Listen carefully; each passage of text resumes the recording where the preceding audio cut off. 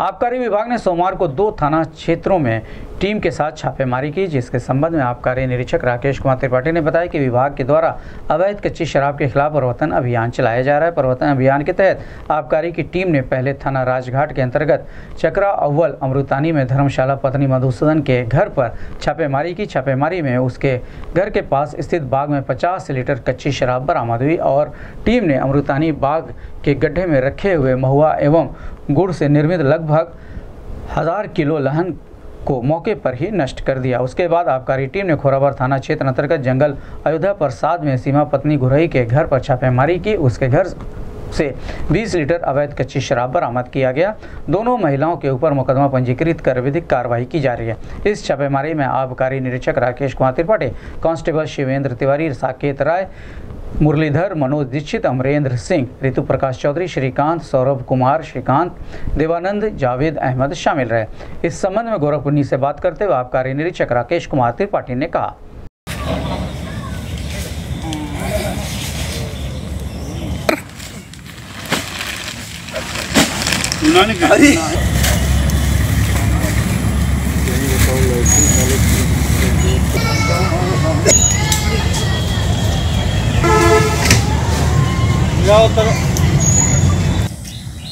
तकिया रखे हुए हैं सब बताइए।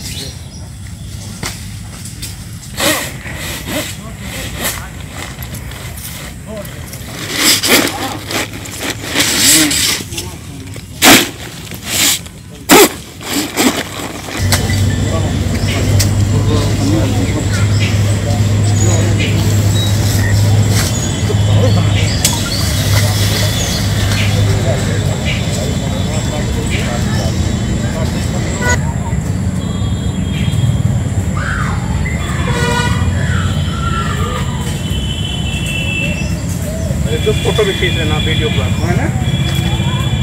जिलाधिकारी महोदय के निर्देश पर आबकारी विभाग द्वारा अवैध शराब के विरुद्ध, कच्ची शराब के विरुद्ध लगातार अभियान चलाया जा रहा है।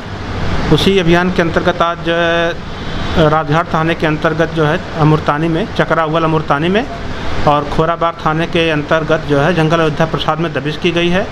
दो महिलाओं के विरुद्ध अभियोग पंजीकृत किया गया है। करीब 70 लीटर शराब बरामद हुआ और 1000 किलोग्राम गुड़ और महुआ से निर्मित लहन नष्ट किया गया है। अभियान ये लगातार चलता है। अभियान हमारा लगातार चल रहा है कच्ची शराब के अवैध जब तक अवैध कच्ची शराब के खिलाफ।